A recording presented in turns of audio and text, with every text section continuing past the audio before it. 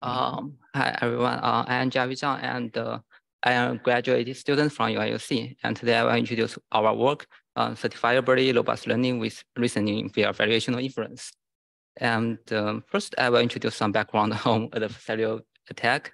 Um, as we all know, um, currently, if we want to classify on some uh, image, we first we just collect a bunch of images and directly train it on with a neural network and we will get the corresponding correct prediction. However, um, we all know that um, this pipeline is quite vulnerable. We can easily get some adversarial noise via gradient backpropagation. And um, once we add this uh, adversarial noise into the image, we can make the uh, neural network misclassify the input image. And there are a lot of works have been made to improve the robustness of deep neural network. Uh, for example, we can pre-process the input. We can use um, generative models to purify the input images.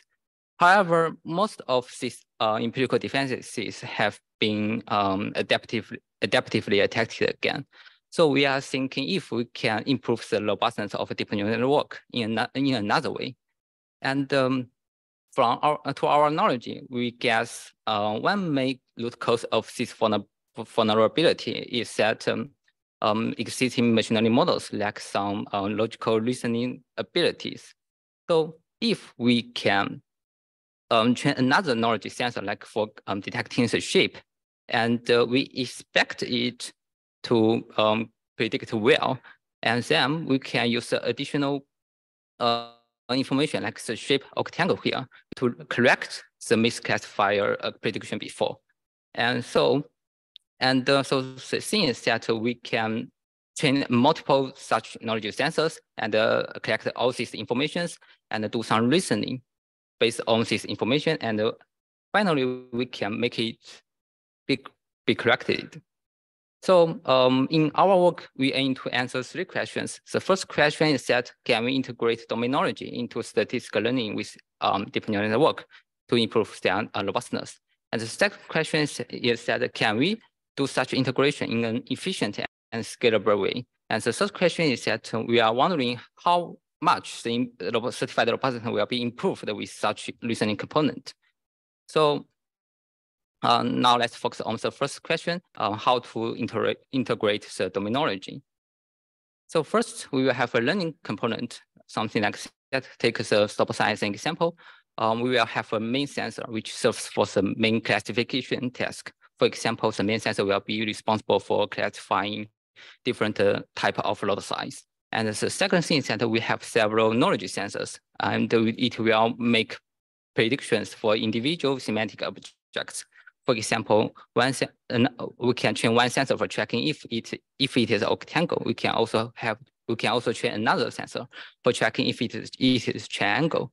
And in practice, some sensors will be attacked and we wanted to recover it. So here comes the next thing. How could we do the reasoning based on all the information we have? An intuitive way is that we maybe we can just use some probabilistic graph models like Bayesian mod, uh, network or Markov log, logic network to create, to uh, combine all this information. And here we will use Markov logic network as an example.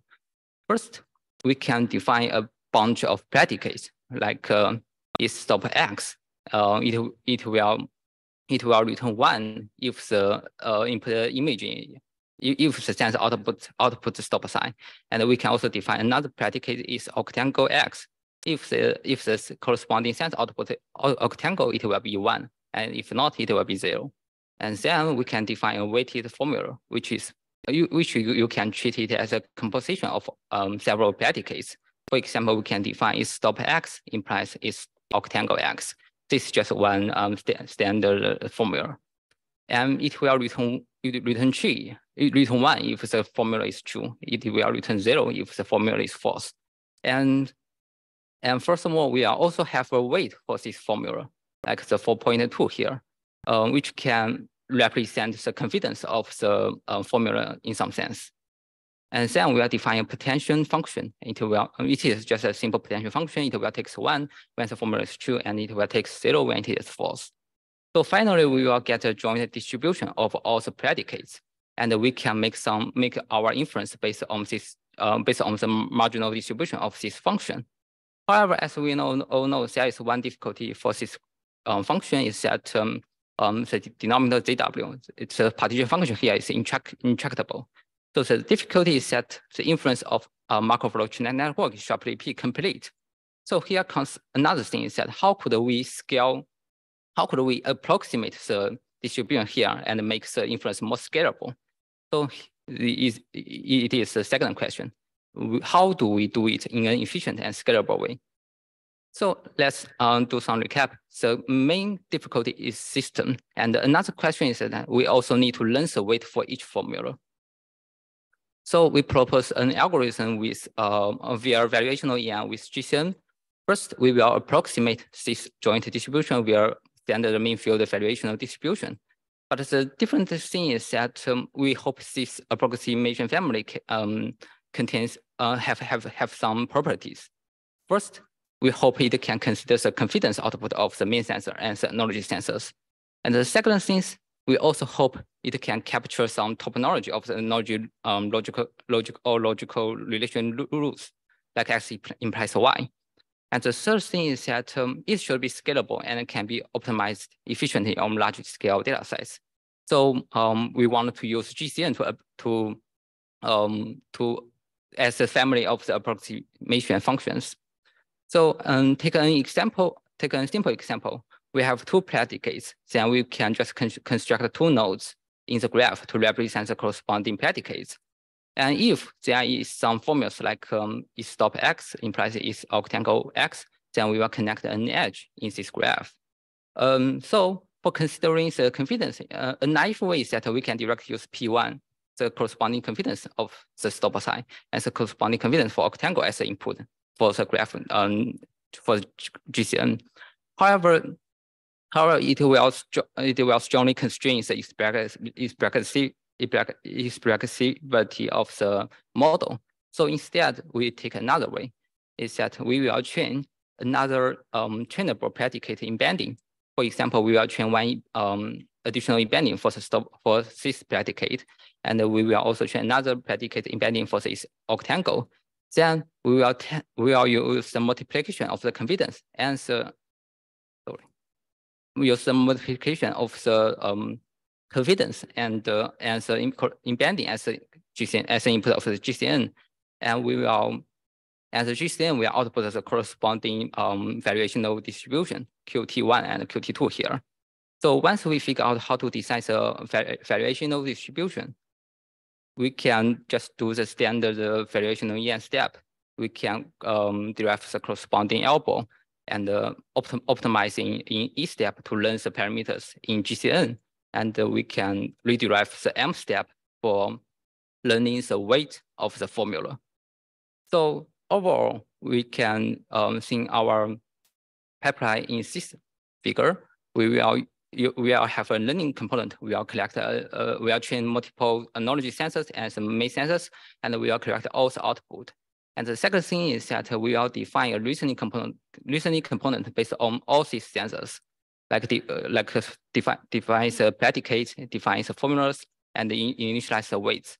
Then we will do the variational EM via GCN. We will encode all these predicates in a graph and learn the corresponding variational posterior di distribution. And then, and in the M step, we will learn the corresponding weights of the formulas. And we will do it multiple times until it converges. So here comes the third question. Um, we also certify the robustness of our pipeline be improved when composed with such um, reasoning components.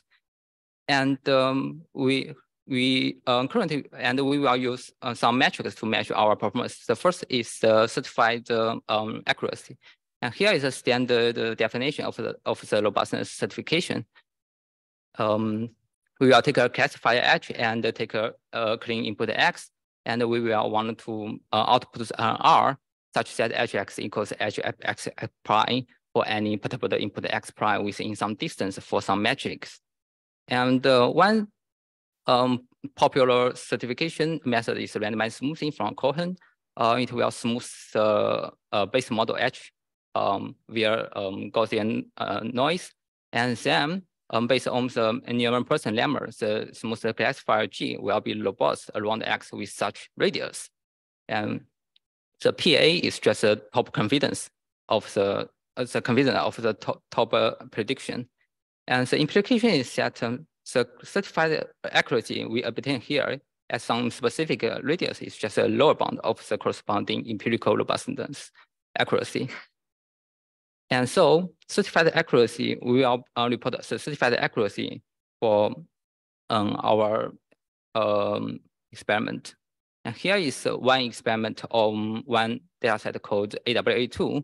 And it's, it's a standard image dataset which contains 50 animal classes and 85 attributes.